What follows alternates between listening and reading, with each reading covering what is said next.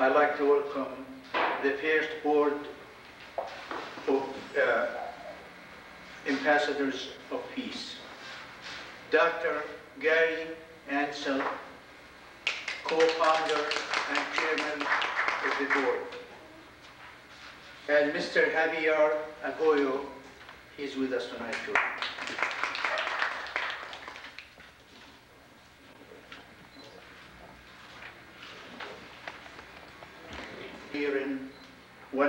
في علاقاتنا الإنسانية. قد نلتقي الليلة على بعض النقاط وقد نختلف على بعضها. لكني آمل أن نكون في اختلافنا كما في لقائنا حريصين كل الحرص على تواصل الود والاحترام فيما بيننا. هذا اللقاء الحميم تتبناه الجمعية الأردنية الأمريكية لجنوب كاليفورنيا في دأبها الدائم على التواصل وتبادل المحبة بين أفراد جاليتنا العربية العزيزة على قلبها. وكانت الجمعية قد انتخبت رئيسها الجديد الأستاذ نبيل نور الربضي قبل أسبوع تقريبا وهو معنا الليلة لأول مرة. سنستمع بعد قليل إلى كلمة أحد مؤسسي سفراء السلام القس إمير حداد. يلي ذلك فترة فترة للاستفسار والتوضيح.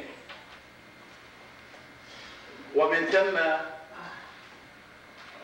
تكرم سفراء السلام مجموعة من الناشطين والأصدقاء وتكرم أيضا الجمعية الأردنية بعض المبدعين المتفردين في إبداعاتهم.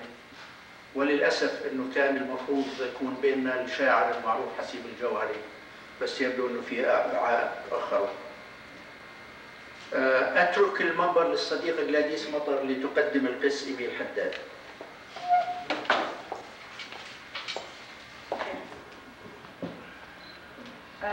حقوق الإنسان التعايش بين أتباع الديانات المختلفة التعددية وثقافة قبول الآخر. ربما هذه هي العناوين الكبرى التي يبنى يبني عليها سفراء السلام مبادئهم التي يريدون لها أن تكون جزءا من الوعي العربي الجديد المعاصر. إننا كعرب قوميين نؤمن أن الأمة لا تحيا من دون فسحة الحرية التي تؤسس لمجتمع يعطي ما عليه قبل أن يطالب بحقوقه.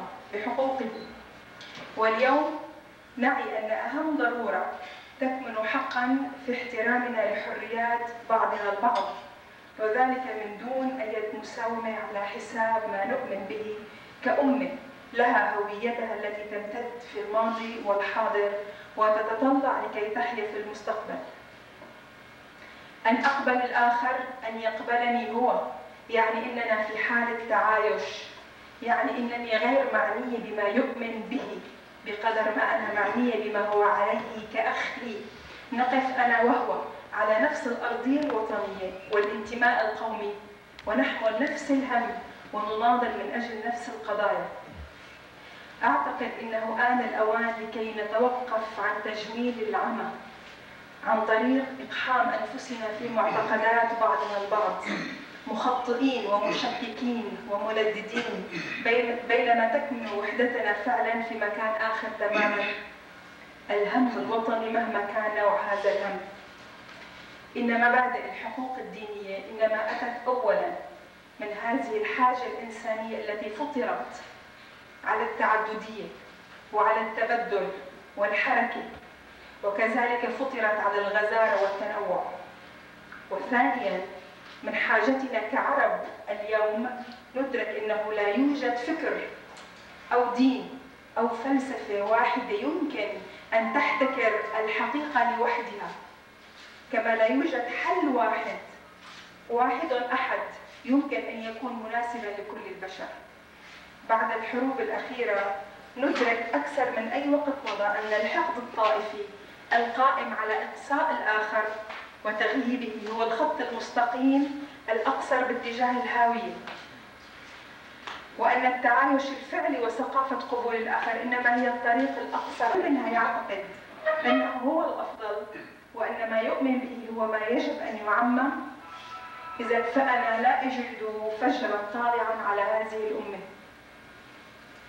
أترك الأستاذ إميلي ليتحدث باستفاضة أكبر عن مشروعه التعايشي بعد أن دار به بلدانا عربية عدة مثل المغرب والكويت والبحرين والأردن ودول أخرى. وشكرا. كان مساء في كوت من بنجامين فرانكلين When people compromise their freedom for temporary peace, they are doomed to lose both freedom and peace. حينما يتنازل الشعب عن حريته من أجل سلام مؤقت فقد حكم على نفسه بخسارة الاثنين معا السلام والحرية. لذلك أيها الأحباء السلام والحرية جزء واحد لا يتجزأ والجزاء أو التعبدية. فالسلام إذن هو نتيجة الحرية وليس العكس أهم ما يصبو إليه الإنسان في الحياة أن يكون حر طريق وخاصة في أموره الداخلية أموره التعبدية. فإن كبت الإنسان في العقل الباطن كيف تتوقع من الإنسان في العقل الظاهر أن يتكلم بحرية وانفتاح. فهو عامل أساسي عامل الحرية وعامل أساسي في سلام الإنسان.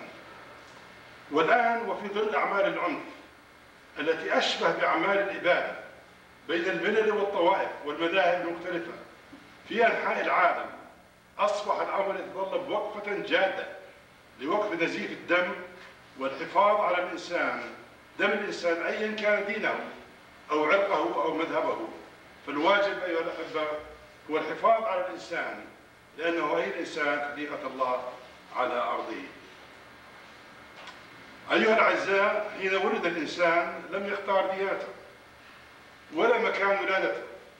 لذلك يجب أن لا يضطهد بسبب معتقده بل يكون له الحق أن يمارس إيمانه وأيضا الحق بأن يختار مسيرته الروحية حسب ما يقوده فكره وبحثه وقناعته وراحته النفسية.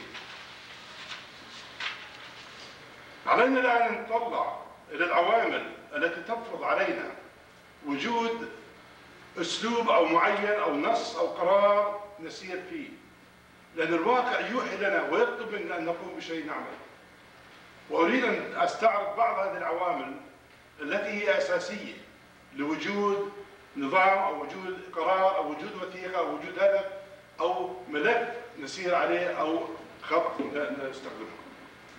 أولا التعددية الدينية أصبحت وجود وحقيقة مفروضة على أغلب المجتمعات إن لم تكن في كل المجتمعات. لم يعد هناك مجتمع واحد. يا من أثنية واحدة أو ديانة واحدة أو عرق واحد.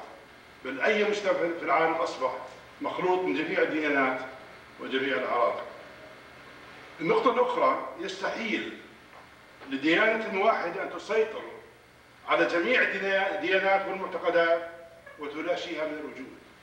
فإن كان هناك من يظن بأن هناك ديانة أو هناك عرق أو فلسفة أو فكرة تستطيع أن تلاشي جميع أفكار الإنسانية. هذا أمر غير مقبول مرفوض وغير منطقي أصلا. لأن الإنسان بطبيعته حر ولا يرضى بالكبت الشيء الآخر يستحيل أن تسقط جميع الأديان في بوتقة واحدة. كأنك تضع جميع الديانات في خلاط واحد كما نسمع مثل ما قال الترك الدخيل جيد عند الطبخ. إنك تضع الديانات كلها في بطاقه واحدة ونقول هذا دين جديد لكل العالم هذا أمر غير سليم وغير صحيح. الشيء الثاني من غير المعقول أن يكون هناك تنازلات عقائدية لإرضاء الآخرين أو تقريب وجهات النظر الدينية بين قوسين حيث أن أساس الدين ليس وجهة نظر فإما أن تقبله أو ترفضه. عندما نحاول أن نتنازل عن بعض بنود الإيمان أو المعتقد لكي نرضي الآخرين فهنا قد حكمنا على الدين بأنه دين خاضع لسلطان الإنسان to compromise your faith or use some fundamental parts of it to please others that tells you that your faith or this religion is not worth to believe in because if it's